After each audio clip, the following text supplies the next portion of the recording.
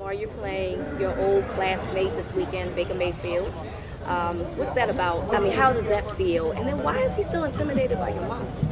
By my mom. That's what he said. He said he intimidated my mom. He, he he basically said, Yeah, his, his mom used to work him out. She used uh, she told me stories to for me to get my ass down to Florida and, and go work out with him, and I politely declined after you know a few beverages at the Heisman ceremony. Um, but no, she's intimidating.